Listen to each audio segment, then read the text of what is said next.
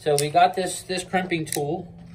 All right, it's a it's a cheapie, okay. But this is the tool that we used. It's a HSC 86-4A, and this is what crimps these.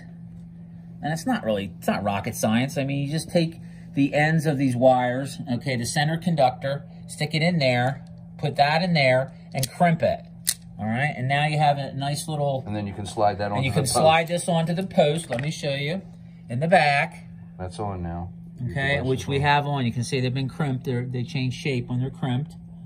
And, you know, this is their power supply here, and that's the manufacturer serial update connections right there. All right, and we use this power supply. At uh, the can- voltage that's Right, and we can also monitor the current, as you can see that this device doesn't really draw much current. Less than is- half an amp. yeah, which is really nice. I mean, it, it is a nice unit. The problem is we were using it uh, for instrument training, and uh, the attitude indicator would be uh, late. Uh, in other words, if we made a left turn and then we came to level, it was showing that we were still in a left turn for a while. So it was precessing pretty badly. So I'm Yeah. hoping that's uh, this software update is going to solve the problem. So next step is go back and install it. Yeah, so the next step, we're going to go back and just reconnect everything up in the plane. Uh, again, you may not have to do that if you have the, you know, we were trying to do it at the plane, but we found out that we needed to uh, get these things. Um, we didn't have the uh, the Amphenol type connectors to pin in.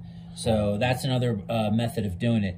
But the wiring diagram for for this um, that uh, uAvionix supplied is accurate. The other thing that we found as a problem was if you go to the bootloader mode first and then try to use The this, the tool, it's probably going to tell you unit not detected, port error.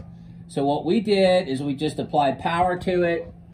The unit came on, and then I connected it. And once I connected on the tool, the screen did go black. It automatically went into the bootloader Didn't mode. have to press and hold Didn't those have to buttons. press and hold those two Just keys. apply power. Yeah, and as you can tell, uh, the software has been updated, and I'll show you here in a second. We're gonna disconnect the power. All right, Press any button to cancel. we don't want to do that. So what we're gonna do is push the power back on, and you'll see the software has been updated uh, to the new uh, software, which I understand. Uh, correct me if I'm wrong. Now I I understand that it came out just two weeks ago. 2.1. Yeah, so the software version 2.1.2, that's the new software version.